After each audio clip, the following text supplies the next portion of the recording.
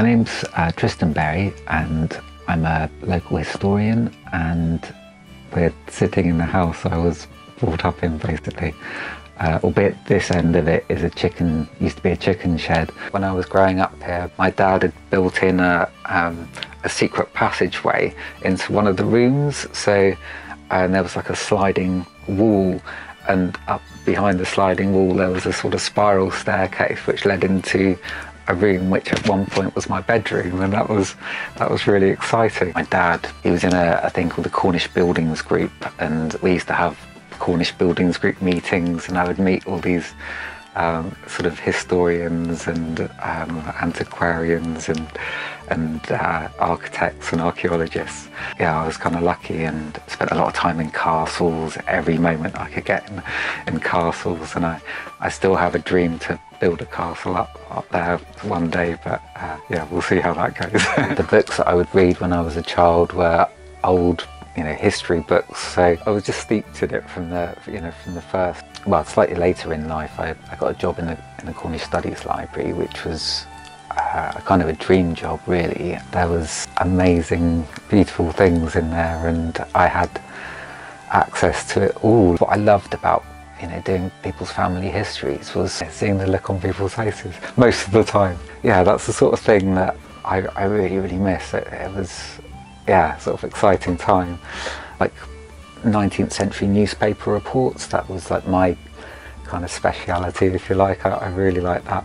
You spend hours looking for specific things. It might be a death notice or a, you know something like that. But in this case, I found a report about two uh, Falmouth fishermen out in the bay there, and they saw a shark. I think we're talking maybe like a porbeagle or something like that, a, a very big shark 12 to 14 foot, being fishermen, sort of not scared by it, but sort of um, wanted to just catch this thing.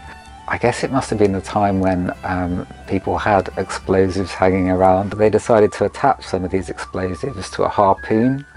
In, in due course managed to spear this poor shark which was uh, only innocently swimming around probably probably trying to catch fish or something. Unfortunately for the fishermen though, um, after they'd successfully harpooned it, what they didn't figure was that the shark would then swim underneath them and that was the point where it blew up and taking both of the fishermen with it. So that was the end of the, the uh, explosive harpoon fishing uh, industry in, in Falmouth, the short-lived, um, yeah. So I've got a soldier in my past. He was a, a, a dastardly character as well. Uh, he's the, the one member of my, my family that I'm I'm still actually, if anybody out there uh, knows any uh, anything about Captain Girling, he's one of the the mysteries um, of my family history going back. I love telling the stories and sometimes with my children I love I love telling stories. I miss them being young enough so that I could read them stories. Yeah, I need to I need to find someone to read stories to. That's a, that's a good point. I mean, I think that's why I love history. It's the story of everything that's happened, you know, from from you know the, the very first words written down, and, and in a way, I want I, I think of history as more than that, you know, archaeology, and um, yeah, yeah, I, I'm really excited about it, um, and I just want to know more and more and more. I love old Ealing comedies. I would recommend The Ladykillers if you've never ever seen it, or Kind Hearts and Coronets. Feel a bit like angsty about it, but I, yeah, I love Warhammer. And yeah, when I was a kid, I would make um, all sorts of buildings for, for my figures and I occasionally paint them, but I used to quite like the figures when they were, because it, in my day they were all made out of lead alloy, so um, they were beautiful and and also smelled really lovely and also gave you brain damage. So teaching my my niece how to play chess recently and we decided to use uh, Warhammer miniatures as the chess pieces.